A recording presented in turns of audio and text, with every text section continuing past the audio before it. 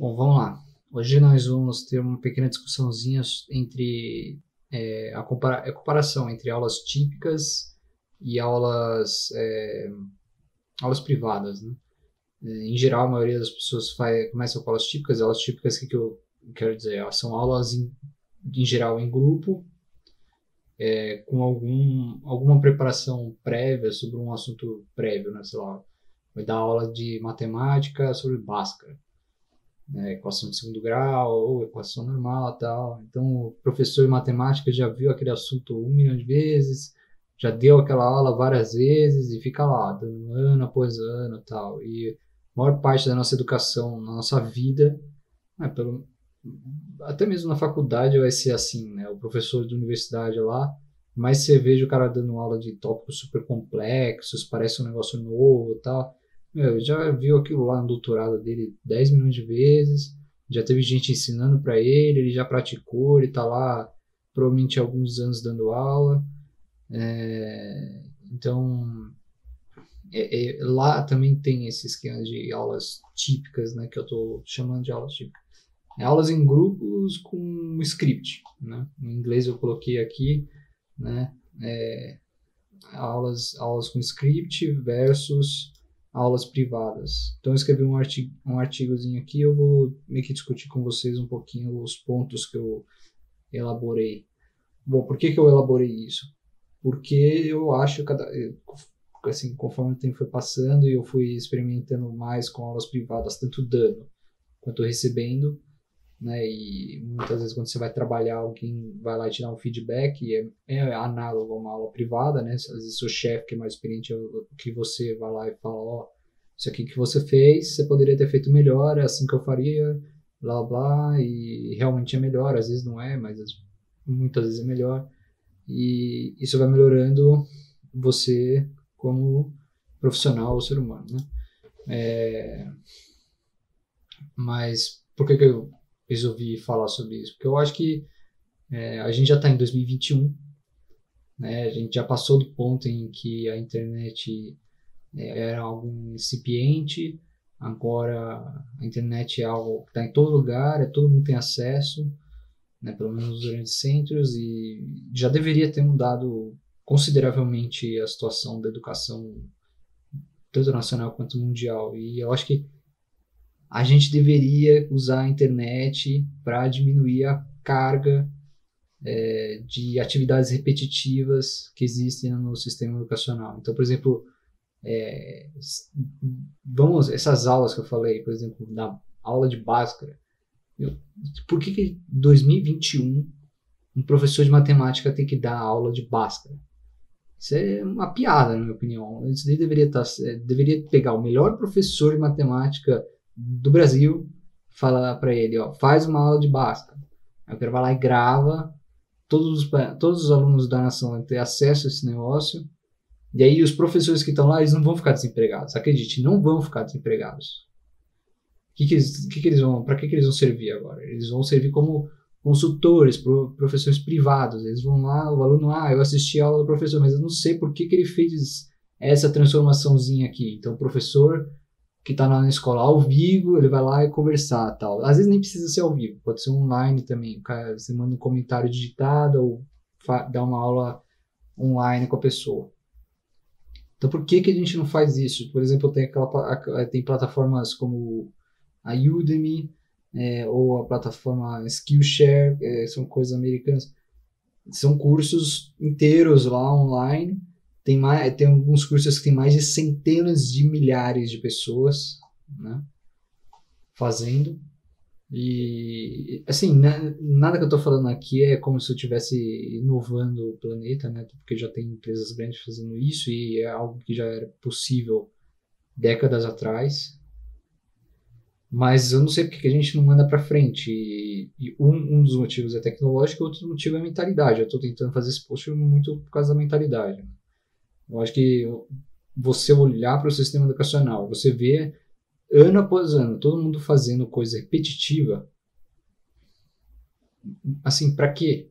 O que, que agrega na sua vida? Você está perdendo tempo. A, sua única, a única coisa que você tem de.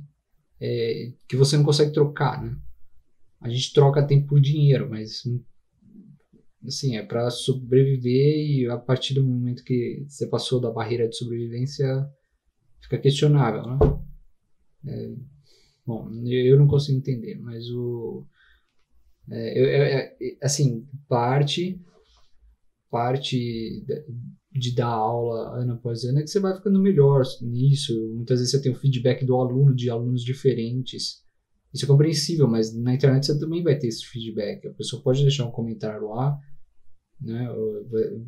Às vezes você tem um feedback até mais cuidadoso, porque às vezes você vai ter algum assistente que vai atrás dos alunos, vai filtrar os melhores feedbacks, né? Então, é, tudo bem, você vai perder os artistas. É, é, de certa maneira, a performance do professor é arte, mas é uma arte que vai ficar cada vez menos utilidade, eu acho.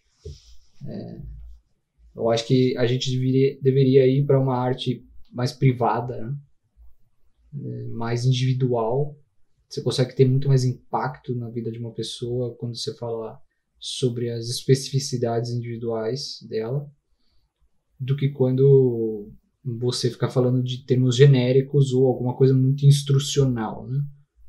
É, porque quando você dá aquelas aulas que tem script, que dá tudo planejado, que é sobre um conteúdo, que você quer só transmitir o conteúdo, você nunca vai estar tá conectando, se conectando com uma pessoa específica.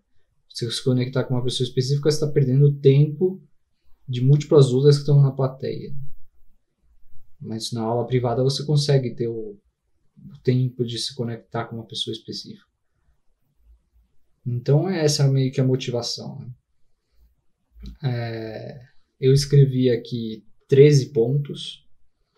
É, eu vou dar aqui uma, uma passada rápida com vocês, mas o grosso eu acabei de falar para vocês também, o grosso da ideia. Né? Então aqui, ó, a situação atual do sistema educacional é compreensível, mas não é aceitável. Né? Por isso que eu, assim, eu vou citar mais motivos, mas para falar por que não é aceitável, é compreensível porque a gente parece que é, que não falo lá, né? a gente tá, a gente tem, tem muita coisa que é, a gente avançou tanto em tecnologia, só que em termos psicológicos e filosofia a gente parece que está na Grécia antiga ainda, né? até antes da Grécia antiga. Né?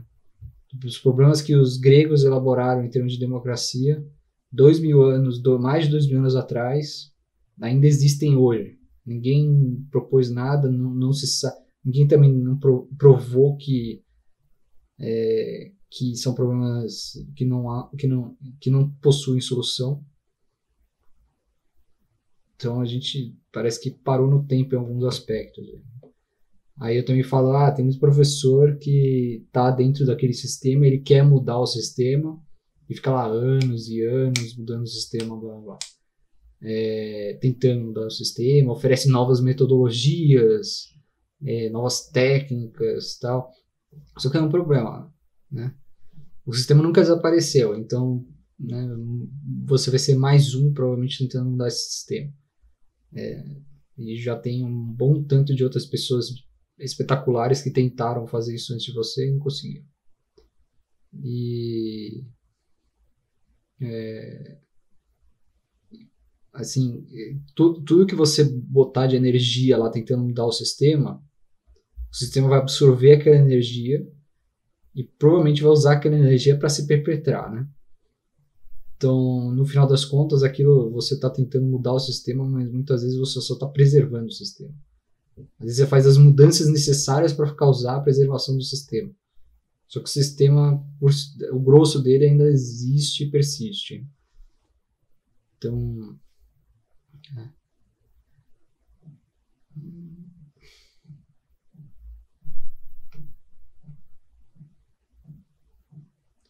eu, também, eu também não estou advogando pela é, extinção total de aulas em grupo. Eu acho que deveria ser alguma coisa muito mais rara.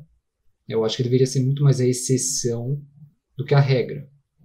Que, por exemplo, um, se você for examinar o nosso, o nosso cotidiano, é, dentro do sistema capitalista, a pessoa quer é, um, alguém que seja um especialista, o mais específico possível. E geralmente a maneira mais fácil de você desenvolver alguém especialista e mais específico possível é com um feedback, um, um feedback constante e com tutoria bem personalizada. E aulas em grupo você nunca vai conseguir fazer isso, porque é ineficiente do ponto de vista de tempo.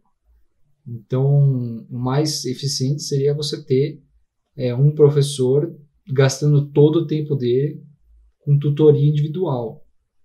Né? É, é o que eu estou falando é, é, se você for tentar implementar esse sistema, tipo, todas essas minhas críticas agora, é bem possível que seja um completo desastre, porque todos os professores não, eles estão treinados para fazer outra coisa.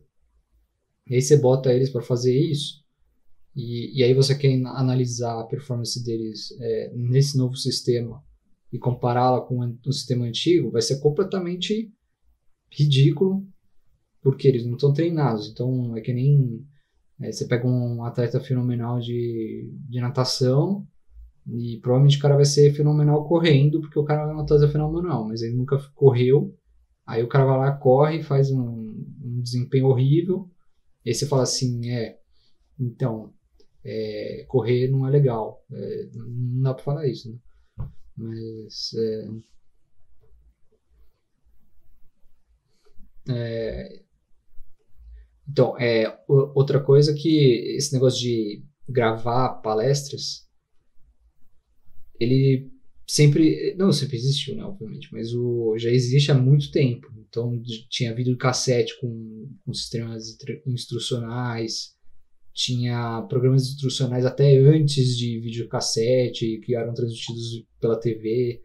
É, isso já é bem antigo, mas a internet mudou é, e colocou outros recursos em cima disso. Não só você consegue ver a aula gravada, como você consegue, por exemplo, pausar quando você quiser.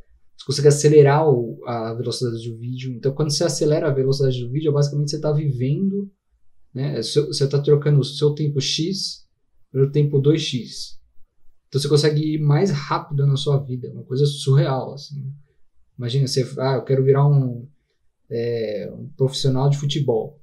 Ao invés de ter que ir todo dia lá por um ano, você agora só precisa ir todo dia por seis meses.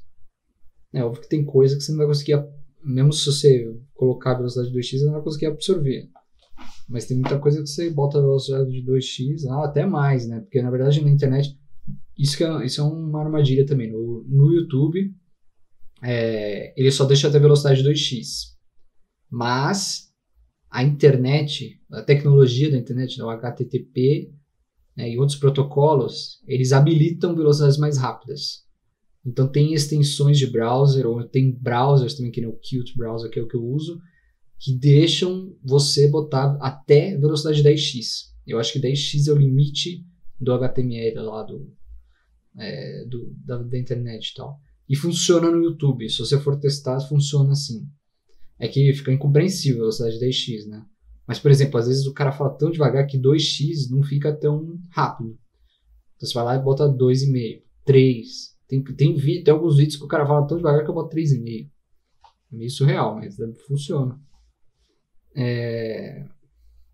Então tem, tem, tem, tem um sistema de fóruns também que acompanham as aulas, né? Tem aqueles, é, você pode posar, pôr uma, é, uma questão pro pro professor, o professor responde é, nos comentários. É, tem vários outros recursos, né? Você pode marcar, você tem o sistema de bookmarks, é, tipo marcações de página, marcações de livro, então você pode ver a, em qual. Às vezes você começou um curso, você deixa o curso por duas semanas e para para voltar, né? E, e, e, o, e, a plataforma registra lá que você estava no, no, ponto X. Então tem muitos recursos que foram é, diminuindo a diferença entre um curso ao vivo e um curso remoto. Aí até o momento que eu acho, é, a gente já chegou no nível, eu acho que já chegou faz uns anos, mas chegou já no nível em que o curso remoto vale mais a pena do que o curso ao vivo em questão, é que esse negócio da questão do tempo é muito importante, porque, por exemplo, você trabalha, aí você só tem um fim de semana para fazer o curso, você vai lá e bota o curso em velocidade 2x. Se você estivesse fazendo um curso ao vivo, quando você ia conseguir botar a velocidade 2x? Eu não um acelerador de tempo, né? Mas é, Dá para fazer isso com um curso online. Um diferencial gigante. Pouca, é, tem muita gente que não tem muita intimidade com tecnologia acaba não vendo isso. É, ah, aqui, ó, outra, outro, outra crítica é em relação à parte de motivação, né? Que muitas vezes o curso online a, a pessoa a pessoa não tem tanta motivação para assistir o vídeo. É, o vídeo ela pode assistir a qualquer hora, então se, se o vídeo pode ser assistido a qualquer hora, a pessoa nunca vai assistir, porque ela tá, o vídeo está sempre disponível, né? Mas é um pouco, eu acho ridículo isso, porque eu acho que se baseia na falta de motivação que as pessoas têm no sistema educacional é, atual. Então, muitas vezes, é, a maioria das. É, acho que o, o, professor ele tem em mente que o, o, aluno é desmotivado por, por padrão, né?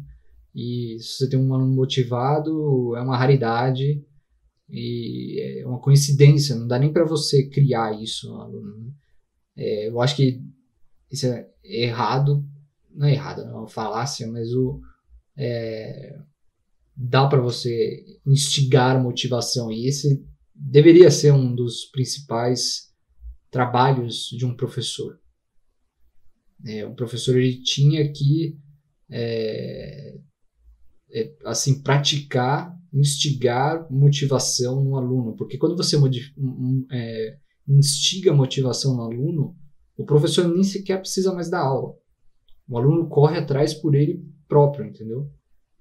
E, e, e agora, quando, o aluno é motivado, a carga horária de tempo que ele vai investir é só determinada por ele mesmo.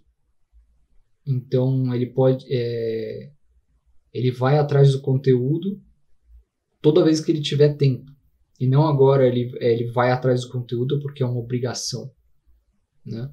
Então é uma questão de dependência e, e uma questão de otimização do, do tempo do aluno também, né?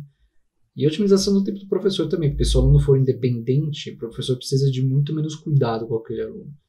E aí, se você tiver aquele esquema de, que, eu mencionei de poucas aulas em grupo ou, ou, só curso online gravado, e aí o professor dá, é, dá aula privada, quanto mais alunos independentes e motivados ele tiver, menos ele vai precisar trabalhar. Né? Menos ele vai ter que dar aulas privadas, porque os alunos estão preenchendo o buraco dele. Né? É, então ele só tem que dar ponteiros. Ele só fala assim, ó, se você quiser achar o conteúdo, você vai ali. É, esse livro ele tem tudo que você está precisando. Ah, você precisa fazer esses exercícios aqui porque eles são os exercícios importantes que você não, não pegou, né? É, eu tenho notado muito isso no, quando vou dar é, quando vou dar aula, né? Que tanto quando eu recebo quanto quando é, eu vou dar aula. É, é que se você não motiva o aluno, é, não acontece nada. Você vai ter que continuar dando aula e você corre o risco também de o aluno desaparecer, né? Porque o aluno interessado ele não vai correr atrás do professor. Né? Quem corre é o professor atrás do aluno desinteressado. Hum. Ah, e, e hum, bom, acho que era isso desse ponto aí. É, então, continuando aqui, é, óbvio que existem algumas exceções para tudo isso que eu estou discutindo. Então, por exemplo, é, quando se vai treinar jiu-jitsu, alguma arte marcial, é, tem certas coisas que é difícil de fazer sozinho. Então você precisa de um parceiro, alguém do seu nível, o técnico vai corrigir. Aí vira uma aula privada, só que com mais de uma pessoa, né?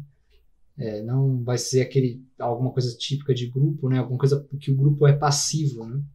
O grupo está tomando, por exemplo, uma aula de jiu-jitsu vai ser em grupo, só que o grupo está é, meio que em atividade, né? E o professor vai lá tentando corrigir. É, aí o grupo não pode ser muito grande, porque senão o professor não vai conseguir dar a atenção devida, né? Mas, é, bom, por exemplo, medicina.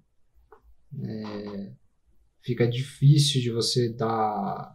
Na medicina talvez não, mas talvez psicologia, que você precisa de um paciente, da psicologia de grupo, que você precisa de um psicólogo, aí um grupo, se precisa de outra pessoa, um psicólogo mais experiente para dar aula. Não sei, deve ter algumas exceções aí. Né? O que eu estou tentando discutir aqui não é uma panaceia, né? Mas eu estou vai uma gama gigante, uma abertura gigante no sistema educacional para esse tipo de coisa. Né? E para melhorias nesse, nesse aspecto. Né? Então, é, e outra coisa também, é, ah, que eu não mencionei, é que todas as, muitas dessas críticas já meio que existem há um bom tempo. É, e elas foram não só criticadas, mas como resolvidas, né, atacadas por um sistema chamado Montessori, que eu acho que era uma médica ou enfermeira italiana, não sei o que, que criou um sistema em que é, não tem essas aulas em grupo, né? Então tem é basicamente o que eu estou discutindo aqui. É que eu eu meio que cheguei nesse sistema sem querer, é, sozinho, assim, eu fui meio que criando coisas similares a esse sistema e depois eu vi que ele já existia esse negócio, né? E, é, tem algumas escolas aqui no Brasil que, que utilizam isso já, já há algum tempo também. O é, que, que é? O aluno, é, o professor ele tenta motivar o aluno e ele vai dando os recursos que o aluno precisa para aprender aquilo que ele quer é, construir ou quer, é, quer aprender. É, e, Bom, o próximo ponto é que é, muitas vezes o, o, um dos argumentos para manter o sistema educacional como está, ou manter essas aulas em grupo, é que quando você vai para essas aulas em grupo, você tem um aspecto social, né? Você está com outras pessoas, você está discutindo, você está expondo as suas ideias. Assim, a exposição é mínima, né? Porque o professor dá a maior parte da aula e você só pergunta às vezes. Então, né, falar que é uma exposição, não sei dizer, porque eu, às vezes eu acho que a, na aula privada você está bem mais exposto. Né? É que você está exposto de uma maneira privada, individual. É, e só com o professor, o professor, se ele tiver algum tato, ele não vai é, ficar falando é, para os outros o que você falou durante a aula. Né? Aí. É, mas o que eu queria falar é que essa exposição, além de ser mínima, ela não é não é exposição social que as pessoas é, é, que as pessoas estão referenciando, na verdade. A exposição social geralmente é depois, ou seja, nos intervalos da aula, quando você vai discutir sobre a aula, você vai discutir sobre a experiência que você teve em grupo, né? Então é que nem é, eu acho que é, é parecido com, com como ir ao cinema. Né? Inclusive, muitas salas de aulas são iguaizinhas a cinema. E algumas delas eram cinemas improvisar, e foram improvisados para a aula. Né? É, então é a coisa mais passiva que existe. No cinema, o que, que você faz? Você senta lá e fica assistindo o filme. Mesmo quando você vai para um encontro, né? Um parceiro, uma parceira, é, assim, é, a maior parte, por mais que você fique tentando faz, é, aquela, fazer aquela escalação de contato físico né, com outra pessoa, é, por mais que isso aconteça, é, geralmente é mínimo e o que você conseguiria é, ao vivo, numa conversa frente a frente, é muito mais eficiente. Tanto é que a maioria dos é, daqueles pick-up artists né, é que o, são aqueles artistas de, de encontros, né, de, aquele técnico de, de encontros assim, eles recomendam não ir ao cinema com o primeiro encontro. Eles falam que é uma péssima ideia.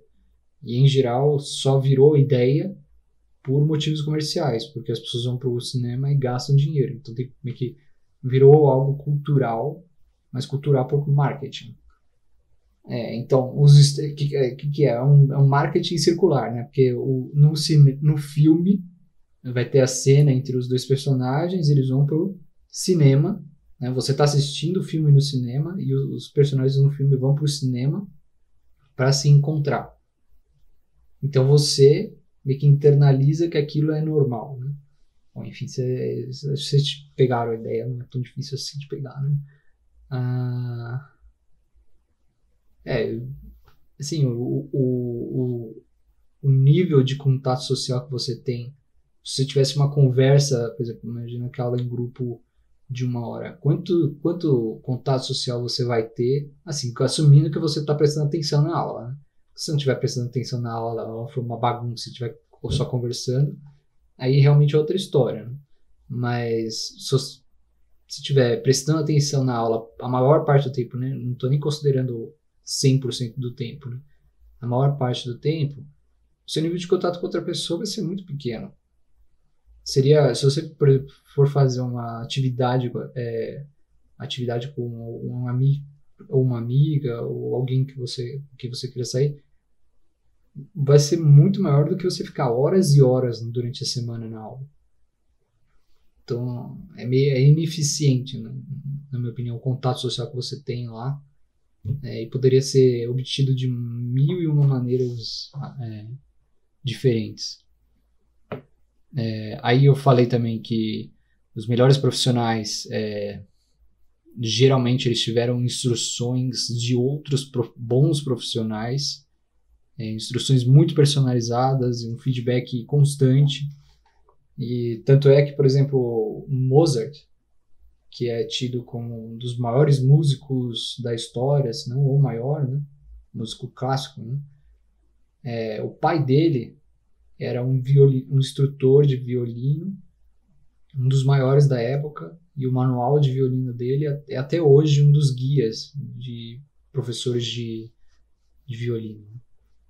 Então, não é só ser gênio.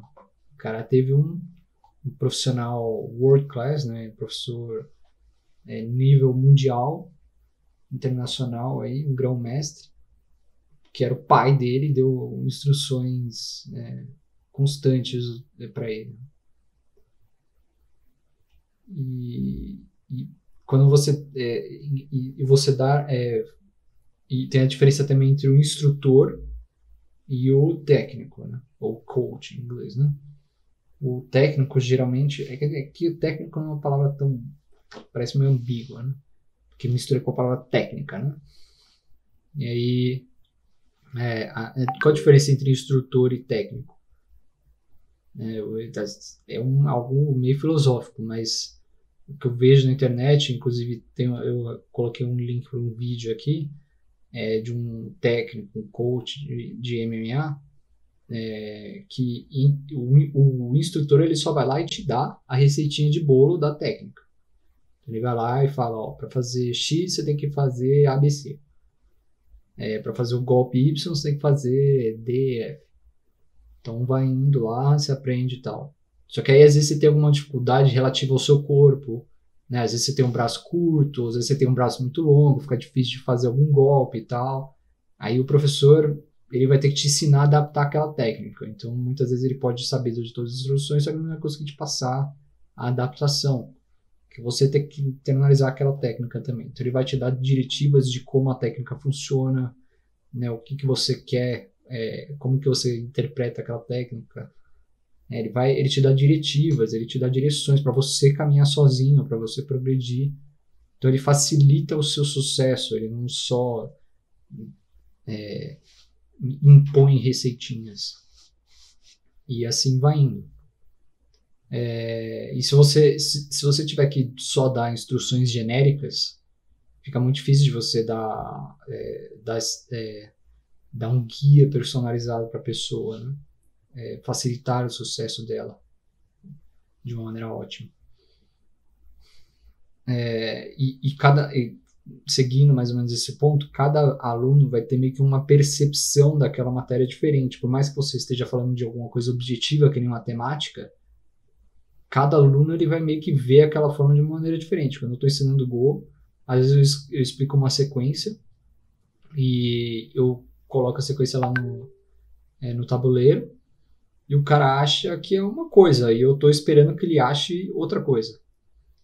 Só que se eu não, se eu não pedir para ele me explicar a interpretação dele, se por exemplo eu estou numa aula em grupo e eu só coloco a sequência na, no tabuleiro, cada pessoa vai ter uma interpretação daquela, daquela sequência. Vai achar que serve para X, só que na verdade serve para Y. O outro acha que serve para Z, não tem nada a ver. Só que se eu não perguntar para cada pessoa o que, que ela acha, é, a pessoa vai achar, ela vai pensar que ela está certa porque ela só viu a sequência lá e, pra, é, e o professor está fazendo com que é, a, só que, é, a sequência que está exposta lá é, pareça ser o suficiente para você ter maestria no assunto. Né? Então é uma coisa na fórmula lá. Muitas vezes você vai fazendo as contas, mas às vezes a pessoa é, não entendeu uma passagem, só que ela. Só que ela, é, na verdade ela entendeu a passagem, só que ela entendeu errado. Né? Muitas vezes aquele balanço da equação, ela acha que é só passar um para o lado, passar um para o outro. Né? É, só que na verdade é para você manter a equação balanceada. Aí quando você chega em inequações, né, que tem maior, maior igual, menor, menor igual, aí a pessoa começa a ficar confusa, porque às vezes você tem que trocar de sinal, né? E aí ela fala assim, então, mas não era só trocar para lá e para cá, tal? Não, é que você tem que manter balanceado. Os mesmos princípios estão lá. Só que a pessoa não conseguiu internalizar que era o balanço. E aí o professor tem que ir atrás da, da dela, né? E aí você, você fala assim, ah, mas então isso tudo tinha que estar tá nas instruções. É, mas é, aos poucos você vai ver que se você ficar colocando mais instruções e mais instruções no manual, é, chega uma hora que o manual fica tão grosso, fica tão super complicado, tá tentando fazer tanta coisa que ninguém vai querer ler ou ninguém vai conseguir é, entender. Ninguém vai conseguir decifrar aquilo, os alunos vão perder motivação, porque o cara acha é, muitas vezes, se a pessoa. É, se tem um. Se você só ataca o, as incompreensões da pessoa, é uma coisa. Só que se, se, a pessoa tiver que lidar com as incompreensões das, de outras pessoas alheias também, aí a matéria que ia demorar um mês demora um ano, entendeu? É.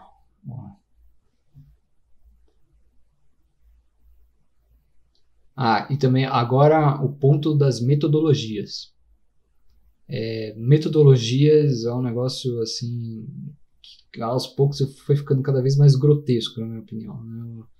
É, tem aquelas metodologias de inglês, né? Vem aqui com o método XPTO, aprender inglês da velocidade mais rápida, não sei o que. Ah, oh, Jesus Cristo.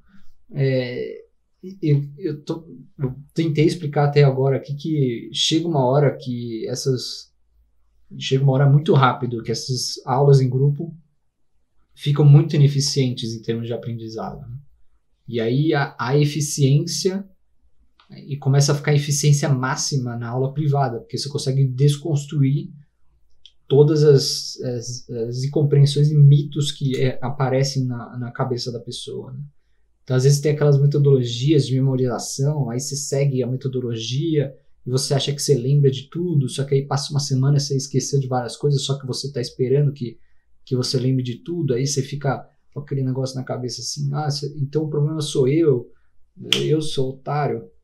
É, não, é, o problema é que a metodologia botou o seu ego lá na estrela, lá na lua, e o problema é a metodologia, não é você, né? Assim, tem, tem algumas técnicas, por exemplo, técnicas de memorização, é importante, tem algumas metodologias que passam por isso e passam bem, é, mas não é suficiente para você memorizar. Né? É, por mais que você tenha uma boa técnica de memorização, você precisa de repetição, por exemplo. E mesmo se você repetir por um tempo e depois você esquecer, é, você esquecer de repetir, né? você fala assim, ah, que tem aquele negócio da memória de longo prazo, né? Aí você fala assim, ah, agora eu já repeti o suficiente para estar na minha memória de, de, de longo prazo. Aí você fica dois, três anos sem falar aquilo. Bem provável que você vai esquecer, por mais que esteja na, supostamente na memória de longo prazo. Porque a memória de longo prazo não é ao infinito e além, né? Então, muitas dessas metodologias dão a impressão que, ah, você repetiu 15 vezes, foi. Agora já entrou na memória de longo prazo. A gente não é máquina, né? Ah, aí o próximo é, é parecido com aquele negócio técnico, né? Que é, é, é preciso de muita, pra, muita prática e feedback constante. É, É, tem vários, várias, muitas vezes a, as pessoas são formadas na universidade com aquelas aulas, em, é, essas aulas em grupo e aí sai da, da faculdade meio que sem a prática, sem o feedback, né? Que eu, eu acho um absurdo isso, tipo, hum, é, você sai você, é, sai de supostamente um, um, diploma, às vezes, duro e o feedback que você teve foi mínimo. E como é que você vai exercer a profissão também depois. É... Ah, e, e, tem, o, tem o fator que muitas vezes o professor acaba caindo na ilusão da eficiência de tempo. Né? Então você cai. É, muitas vezes os professores que dão aulas para classes de 50, às vezes 100 pessoas. Eu acho que no meu cursinho a gente tinha até do, 200 pessoas uma vez. Né? Entre 100 e 150 era a média, acho. Chegou a 200 algumas vezes quando tinha alguma aula importante, algum professor que as pessoas gostavam. É,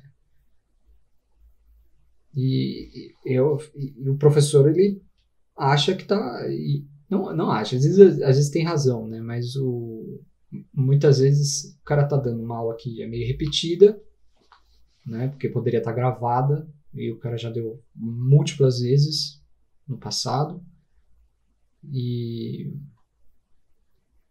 e ele fala assim: ah, isso daí é muito eficiente, porque eu estou gastando uma hora do meu tempo e na verdade eu estou fazendo essa uma hora valer por 200 horas, porque é uma hora para cada aluno, né?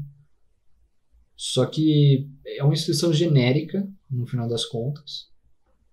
É, é, é uma instituição genérica e o, o aluno com aquelas, aquelas incompreensões dele, ele vai ter que depois correr atrás do conhecimento que lhe falta. Né?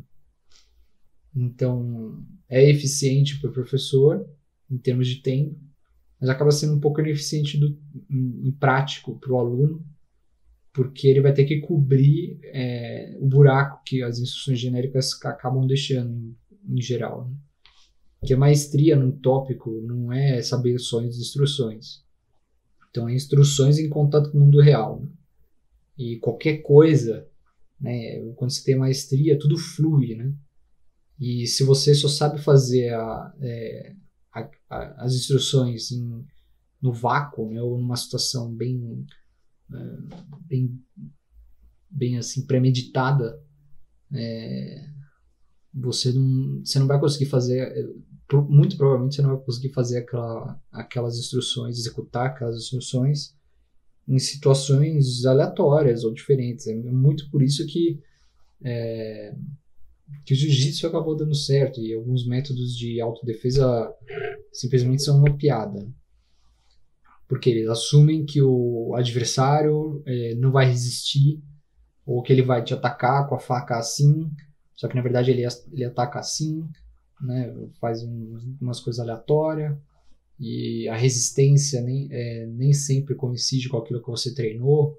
Então você tem que, para você, é, para você realmente ter a maestria, demanda é, saber as instruções, lidar com algum, alguma situação tensa e resistente, é, que seja desafiadora para a é, execução das, das instruções. É, não adianta só recitar as, as instruções ou as, as respostas que você obteve na aula.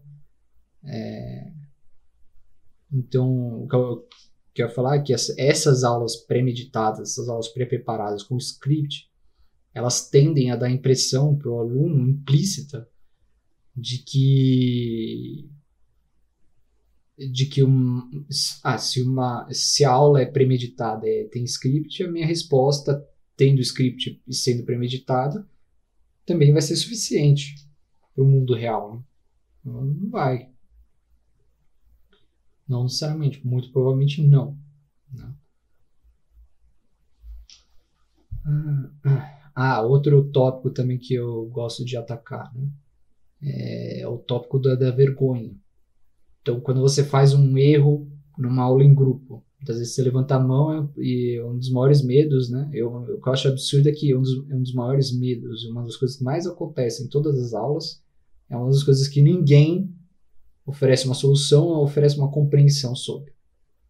Então, por exemplo, eu levanto a mão, aí eu faço uma pergunta retardada. Ou que as outras pessoas acham que é retardada. Às vezes nem é retardada, às vezes é uma pergunta boa. Só que o fato de as pessoas Às vezes, ó, a pergunta é boa, mas o fato de as pessoas acharem que ela é uma merda é o suficiente para me jogar para baixo, né, em relação ao grupo. E aí é, é, a questão da vergonha. A vergonha ela diminui a, o seu QI, diminui a sua autoestima.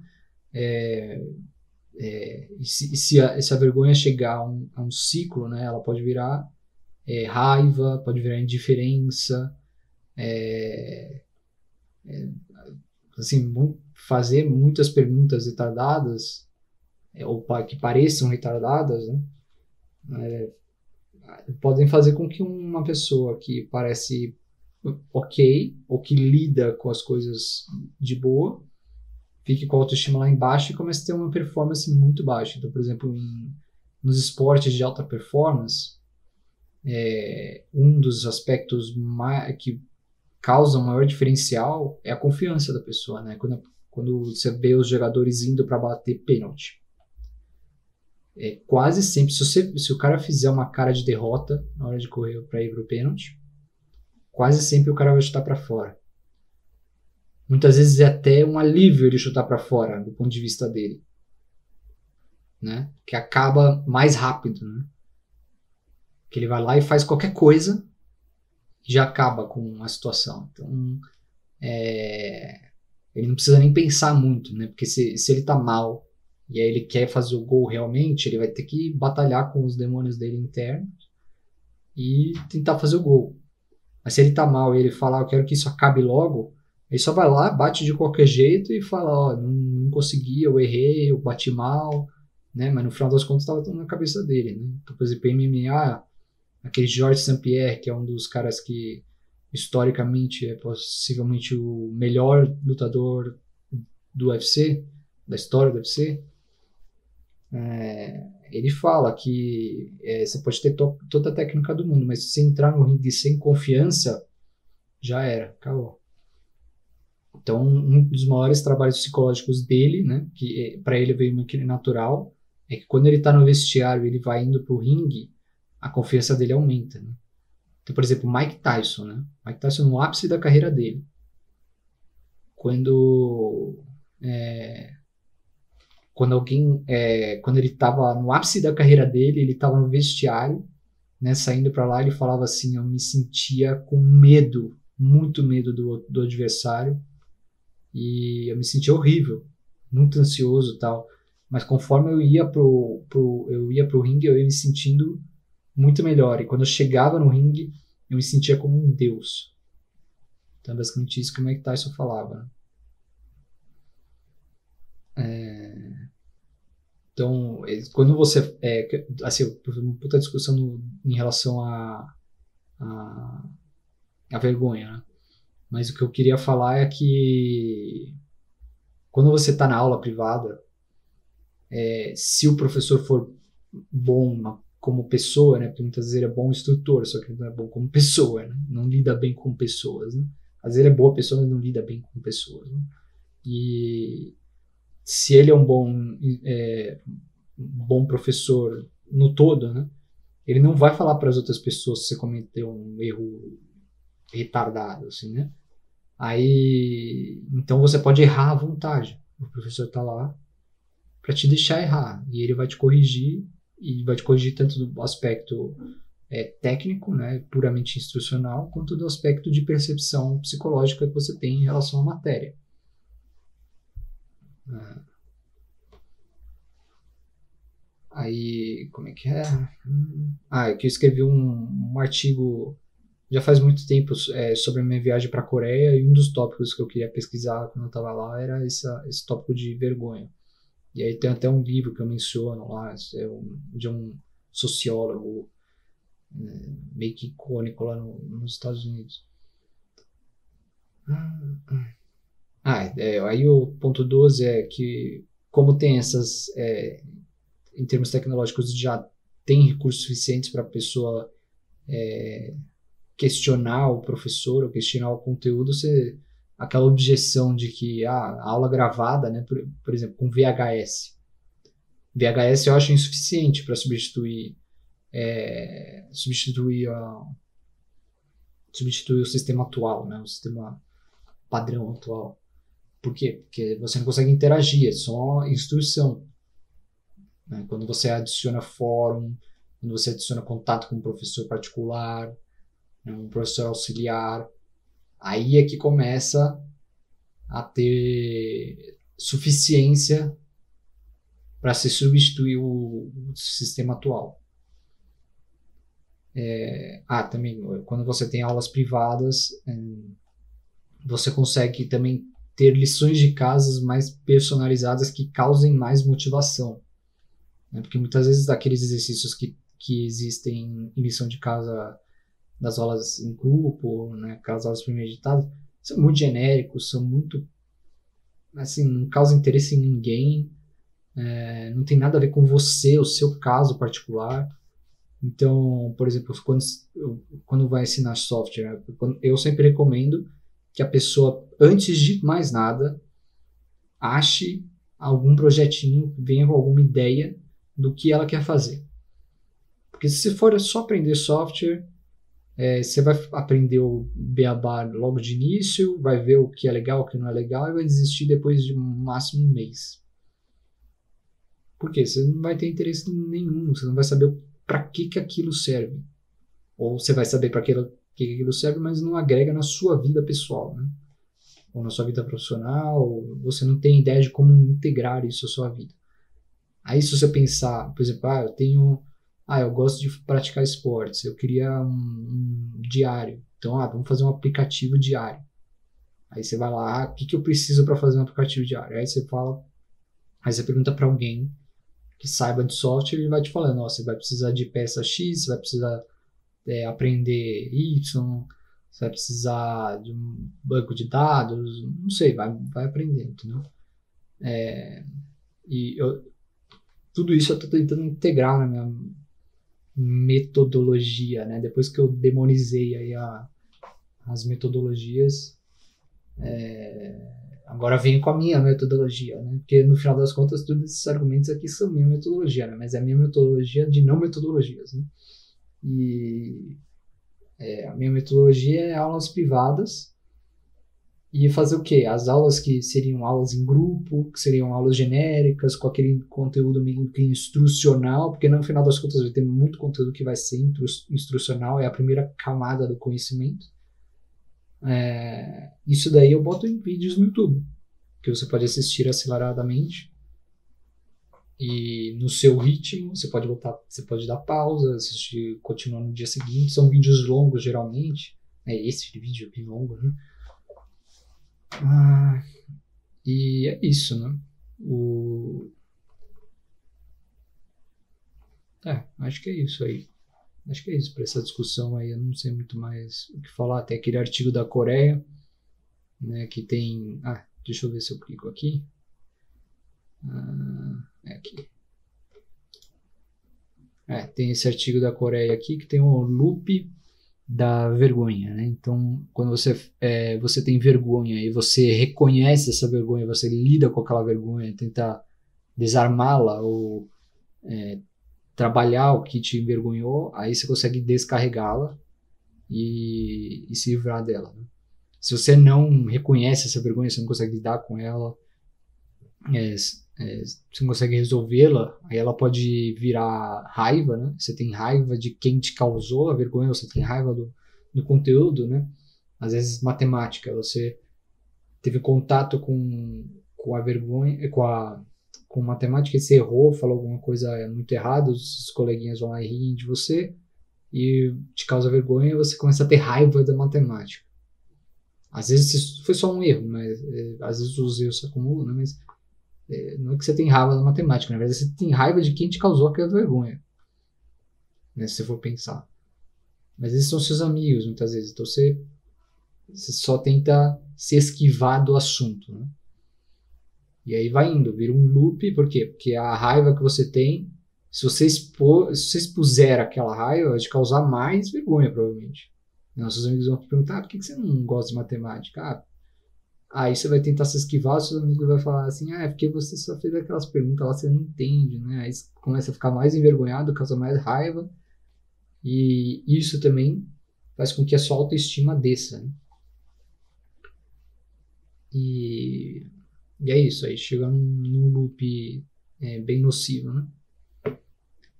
Bom, é isso. Parabéns por ter assistido aí, obrigado pela audiência.